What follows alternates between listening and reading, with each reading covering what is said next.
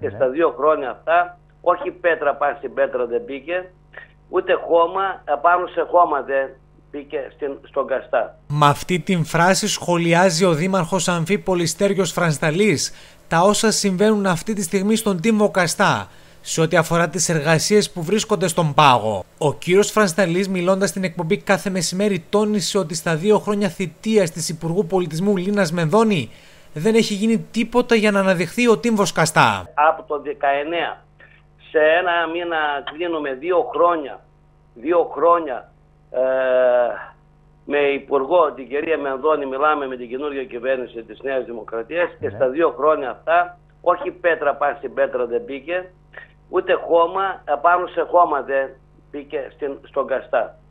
Δεν έγινε τίποτα και από αυτά που έχουν εξαγγείλει οι ίδιοι. Ε, σας αναφέρω αν μπορείτε να ανατρέξετε στα δελτία τύπου το οποίο ανακοίνωσε τότε η κυρία Μενδώνη και με λυπεί το γεγονός ότι άνθρωποι υπουργοί έρχονται σε ένα τόπο τόσο ιστορικό και τόσο αρχαιολογικό ε, εξαγγείλουν πράγματα, έργα, αλλά τελικά φεύγουν και πάνε στην Αθήνα εκεί και νομίζουν ότι όλα πάνε καλά. Ή λόγω ανικανότητας ή λόγω μη θέλησης, μη θέλησης για να αναδείξουν το μνημείο επικαλούνται υπηρεσιακούς παράγοντες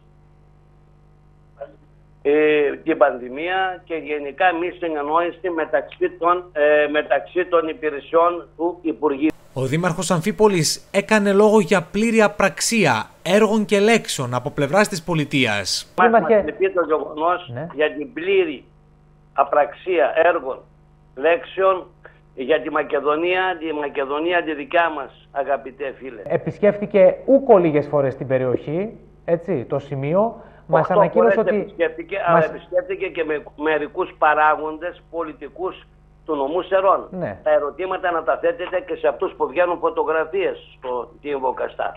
Όχι μόνο σε μένα. Ναι. Εγώ βγήκα, πήγα μία φορά μόνο. Ο ίδιος όλο αγανάκτηση ανέφερε ότι το Υπουργείο απέτυχε να αναδείξει τον Τίμβο Καστά. Μάλιστα όπως είπε θέλει το Υπουργείο να αποκόψει το Οικουμενικό Μνημείο από τον Δήμο Αμφίπολης. Ο Δήμαρχος Αμφίπολης τι ζητά από την Υπουργό, από το Υπουργείο Πολιτισμού; Εμείς ε, ε, το αυτονόητο. Τι να ζητήσουμε ένας, ένας δήμαρχος ο οποίος ένα τόσο γιατί γεωγραφικά το μνημείο ανήκει σε εμάς και αυτή η, το Υπουργείο θέλει να αποκόψει το μνημείο από το Δήμο και από τη γεωγραφική περιφέρειά μας θέλει ναι. να το αξιοποιήσει μόνο, μόνο του αλλά τελικά το Υπουργείο εννοώ δεν μπορεί γιατί αν δεν μαζί, αν δεν συνεπάρξουμε, αν δεν βοηθήσουμε ένας τον άλλον, δεν μπορεί να αξιοποιηθεί αυτό το μνημείο. Λυπάμαι πάρα πολύ. Πέρασαν δύο χρόνια, δύο χρόνια, ε, πώς να τα χαρακτηρίσω.